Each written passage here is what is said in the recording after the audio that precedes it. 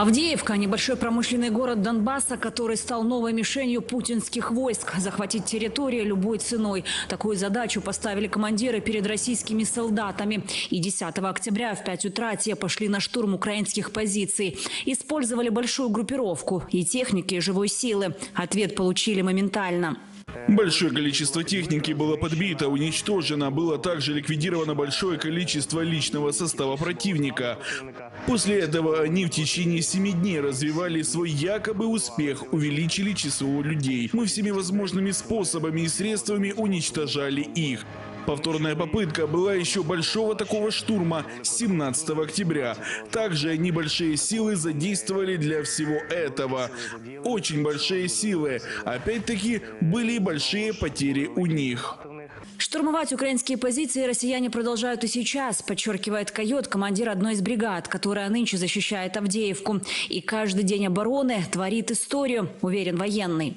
Ми відбиваємо ці штурми. Мы отбиваем эти штурмы. Парни все очень по-боевому настроены. Ми настроєні Я считаю, что все наши будни достойны войти в историю. і мають війти в історію. Постоянно происходит давление со стороны противника. Даже если противник имеет какой-то успех на каком-то участке, мы все равно не оставляем попыток вернуть эти позиции. И мы действительно, имея резервные группы, группы, которые готовы для того, чтобы пойти и отбить свою позицию назад, идем и это делаем. Большую роль в отражении атак сыграли противотанковые подразделения. Российская бронетехника вспыхивала на поле боя, словно спичечные коробки.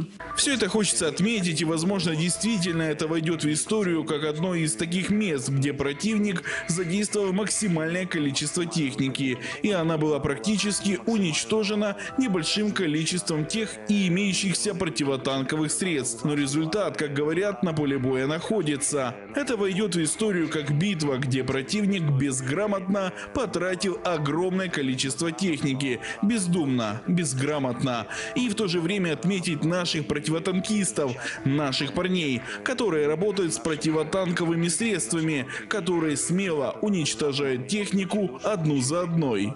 К штурмам Авдеевки россияне готовились тщательно, отмечает Койот. Но город, который был оккупирован в апреле 2014 и уже летом того же года оказался взят под полный контроль украинских властей, за практически 10 лет хорошо укрепился.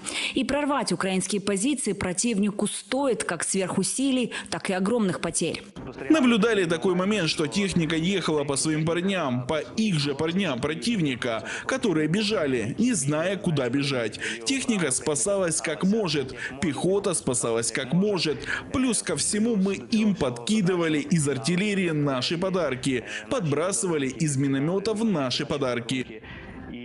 і И это выглядело достаточно интересно, когда противник, даже не начав активный штурм наших позиций, уже потерял ориентирование. втратив орієнтування. Дезориентация – одна из частных причин фиаско россиян, а еще их отношение друг к другу. Это выглядело как спасение утопающих, то есть смотреть на это достаточно смешно было, когда люди, не зная, что делать, пренебрегают ценностями друг друга, подставляя технику и пехоту. В очередной раз показали отношение между ними, которое является вообще нечеловеческим. О подготовке к штурму Авдеевки можно судить также по технике, которую противник использует, сообщает комбат. На это направление россияне перебросили вооружение, которое раньше еще не применяли именно здесь. Это и БМП-3, это и их новые танки Т-90. Я с первых дней полномасштабной войны участвовал в боях под Киевом, под Житомиром и в Николаевской области. Там видели очень много такой техники. И «Тигры» — это их современное вооружение. Здесь, на этом участке, я раньше не видел, а в этот раз увидел. «Тигры», бронетехника, инженерного много вооружения для того, чтобы разминировать наши миновзрывные заграждения.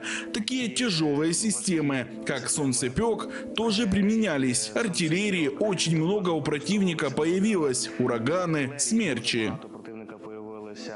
У противника появилися урагани, смерчі. Оборона Авдеевки продолжается. Ежедневно там ведутся ожесточенные бои. Военные аналитики полагают, что взятие этого населенного пункта не имеет стратегического значения для россиян. Скорее, это политические амбиции диктатора накануне псевдовыборов в стране-агрессоре, имеющие целью привлечь внимание внутреннего потребителя.